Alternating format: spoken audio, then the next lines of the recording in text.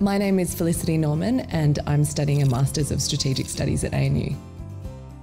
The practical skills that I've gained from this course is an enhanced ability to think critically, to develop an argument, and also to communicate that argument clearly. Developing relationships with the other students has been one of the best parts of this course. The other students are often professionals from the, both the Australian government and also international governments. This course has given me the confidence to use these skills in any future endeavour within the Asia Pacific region. Hugh White, Professor of Strategic Studies at ANU.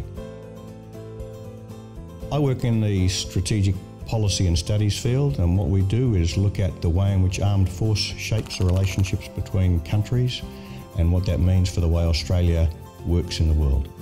There are two things that make ANU particularly strong in this field. Uh, the first is that we work across the full range of questions from high level strategic questions to do with international relations at one end, all the way through military history into detailed work on actual military operations and the development of capabilities.